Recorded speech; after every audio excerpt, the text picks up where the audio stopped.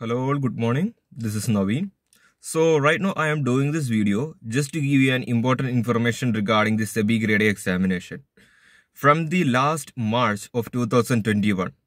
And uh, please keep in mind the time was when the SEBI recruitment process is still going on.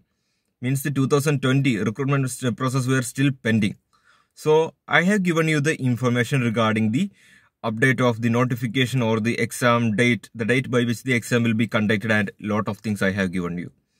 And uh, but recently, two about two three weeks back, some of the educational platforms are given the information like the notification will come this year, that is by the next month or by the other next month, that is by the September or October. They have given the information like that.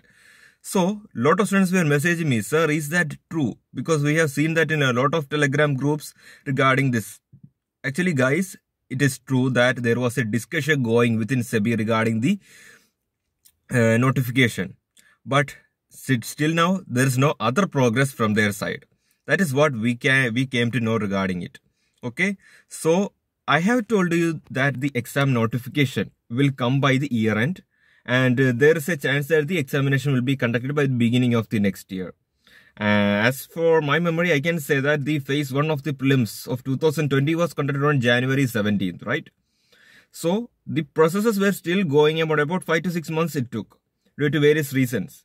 And uh, during that time also, the RTI information go, we got from the SEBI is like the, there is no anything official information like that, nothing regarding it because the processes of 2020 are pending and it's going on. After the completion and just knowing the after the vacancy, after just the completion process is completed only, we can announce the vacancies and all.